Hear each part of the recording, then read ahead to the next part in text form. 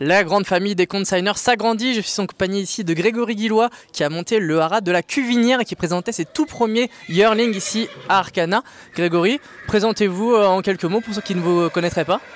Donc du coup, c'est un rat, donc euh, un rat de la Cuvinière, donc situé entre euh, Falaise et Putange, à Bazoches ou Ulm. Donc moi, ce sera pour la préparation pour les ventes de yearling, chevaux repos et un peu d'élevage. Quel a été votre parcours professionnel avant de monter ce projet? Donc du coup, moi j'ai commencé donc, en tant que cavalier pré-entraînement donc pour son Altesse Lagacan. Euh, et ensuite, je me suis orienté plus en préparation aux ventes, euh, où j'ai travaillé pour le Haras de Grand Camp, le Haras du Mézeray, euh, Chanel Consignment.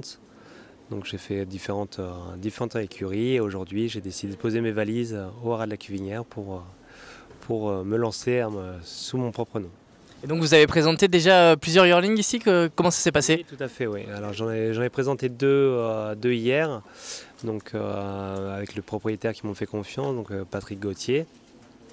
donc qui, ça s'est très bien passé, une vendue 50 000 et l'autre 18. Donc non, non, de, très bon début. Quel est le, projet à terme? Comment vous voyez dans votre structure dans le futur?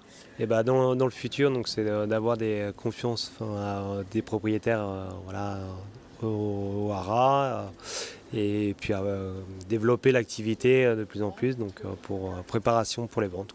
Merci Grégory. Merci.